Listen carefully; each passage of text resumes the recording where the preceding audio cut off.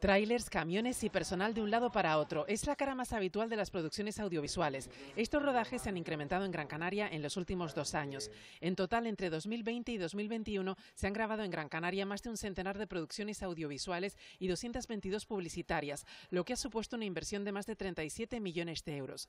Y este año ya hay cinco largometrajes en marcha, tres series de televisión y un posible récord de inversión de más de 100 millones de euros. En Gran Canaria reúne todas esas posibilidades y esas además garantizan que aquí se pueda rodar eh, con todas las garantías.